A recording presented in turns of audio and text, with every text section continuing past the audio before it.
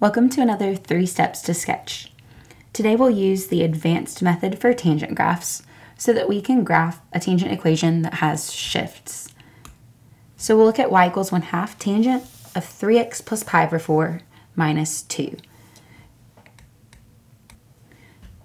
And so notice we can be sure of the shifts because we see the plus pi over 4 here and the minus 2. So those are your flags for, hey, use the advanced method so that you can handle shifts.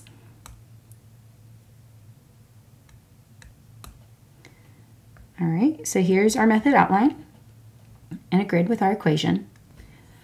Now let's notice our equation is in the form y equals a tangent of bx minus c plus d.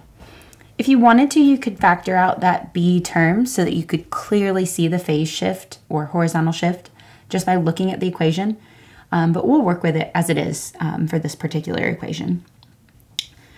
All right, so let's start with step one. We'll find the essentials, starting first by breaking down what will be part of our base graph for our base pattern in step two. So we have A, which is the coefficient of tangent, which is one half. Okay, so this value will actually help us with the y coordinates of our curve shaping points. Okay, it's a vertical shrink from our parent graph y equals tangent x. So it'll be vertically compressed down.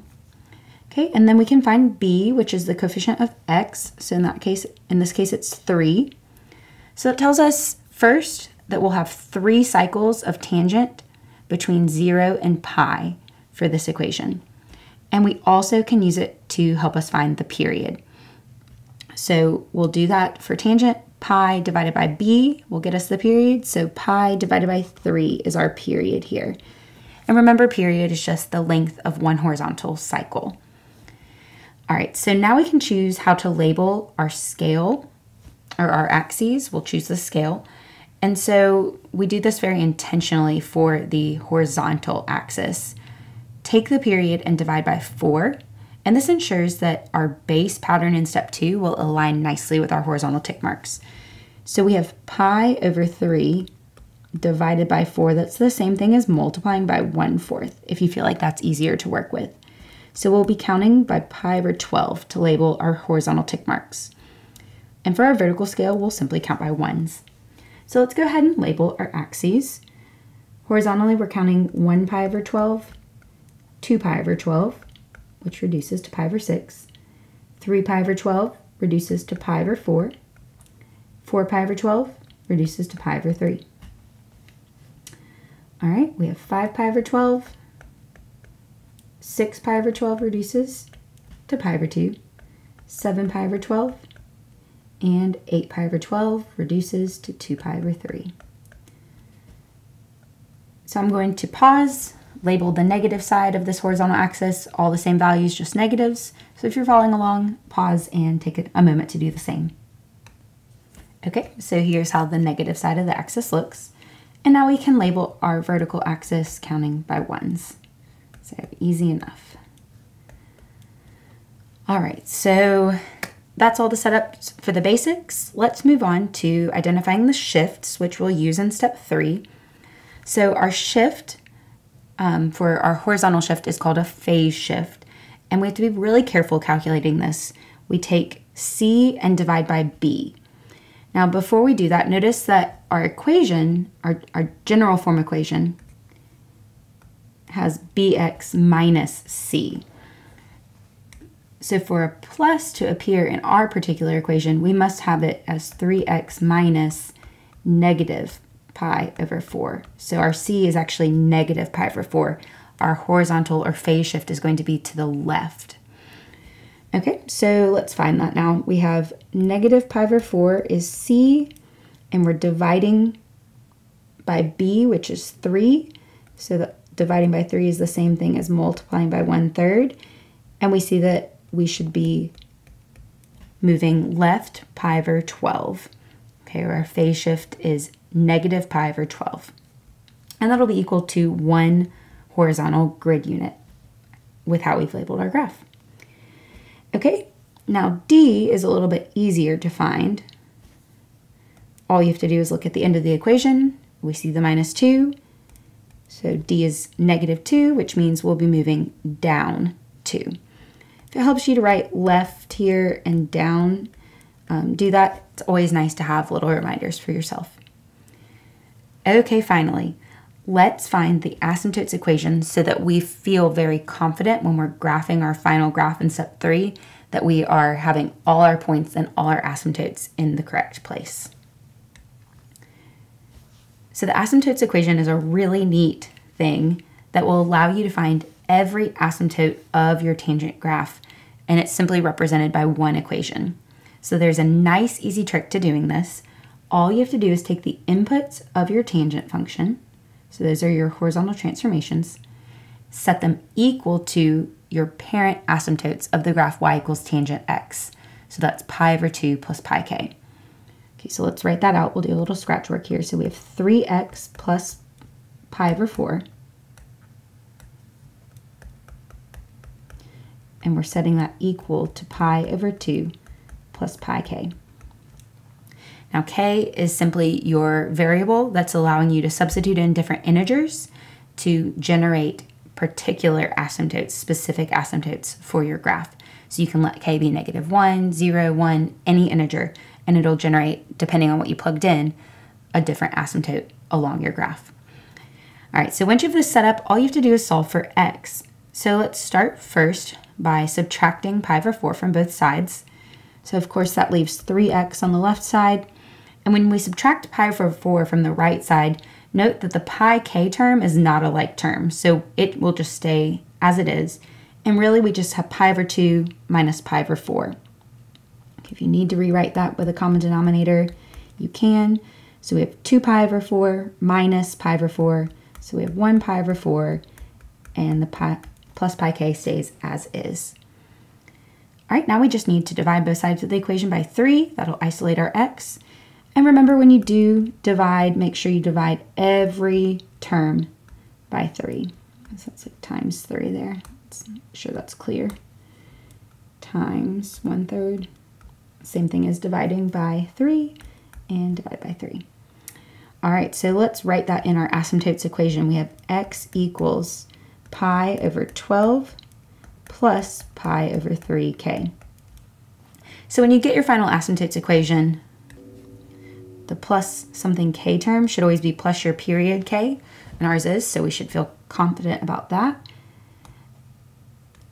And let's go ahead and just predict a few of the asymptotes um, we'll just talk through them. If you let k equals 0, we know that our final graph should have an asymptote at pi over 12, just by simplifying when we substitute k as 0.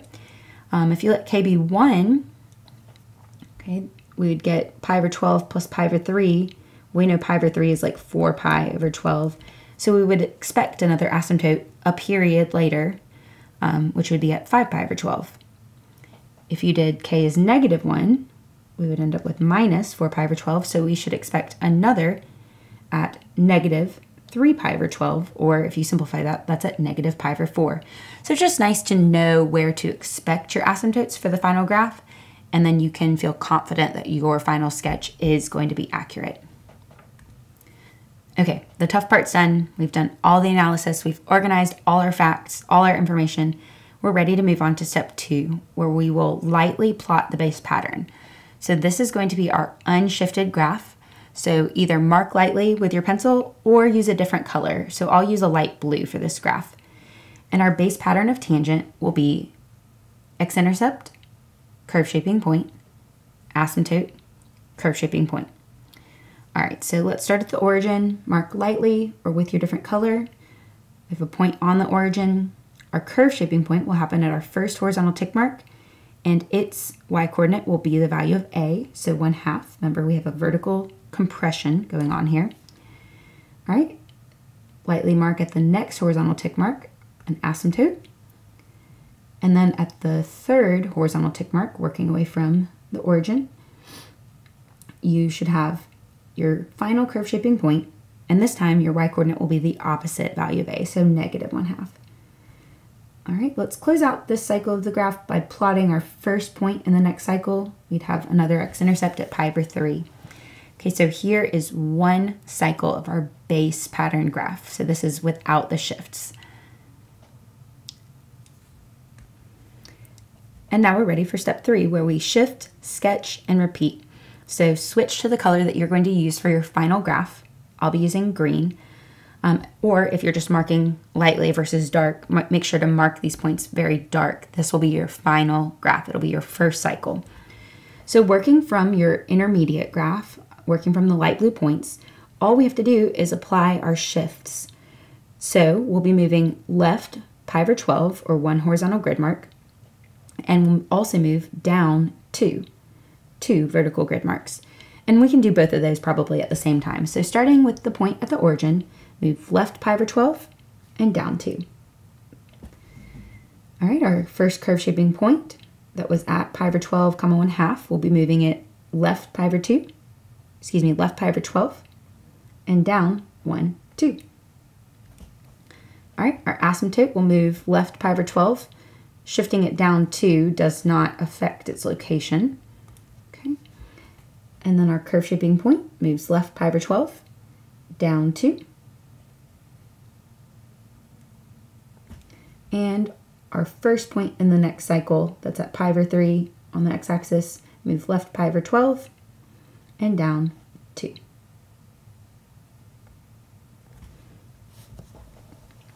All right, so we can sketch in the tangent curve for this final shifted graph. So this is one cycle of our equation. If you want to erase your intermediate marks, you definitely can do that clean up the graph a little bit just so there's no confusion. All right, and now I'm going to switch to purple and we will repeat. So all you have to do is copy the green pattern, your final pattern, over and over and over again to get as many cycles as you'd like. Okay, so working to the right first, we have what was an x-intercept. Now we could call it maybe um, a midline point. Um, we have a curve shaping point. We have another asymptote we should feel really great seeing it's at 5 pi over 12. We talked about that with the asymptotes equation earlier. Another curve shaping point, another midline point. and another curve shaping point. So sketch that in. Got some nice tangent curves and we can work the other direction as well. So we're just copying the pattern. There is that asymptote that we predicted using our asymptotes equation at negative pi over 4. Okay, repeat this pattern just a little bit more. We see there's another asymptote at negative 7 pi over 12, and hopefully you're predicting that if you substituted in negative 2 for k, you would um, be able to simplify to get negative 7 pi over 12. All right, so let's sketch this in. We have several great cycles of tangent here. Um, before we finish, let's go back to B. We said B was 3 and that we would have three cycles of our graph happening between 0 and pi. And now we don't quite have all the way out to pi, but hopefully you can see here we have close to our three cycles. If we went again, um, hopefully you can see, or if you want to experiment with that, that's a neat thing to see to further confirm your graph and double check all your work. Okay, so this was the three steps to sketch advanced method for shifted tangent graphs. Uh, hopefully this helped you feel a lot more confident getting a, a graph that's uh, relatively challenging. Um, and hopefully it also helps you understand the asymptotes equation. Um, I'll post some links in the video description that go into more detail about the asymptotes equation, um, that link to more examples of tangent, and even some to um, some of the other trig functions. Thanks so much for watching. Have a great day.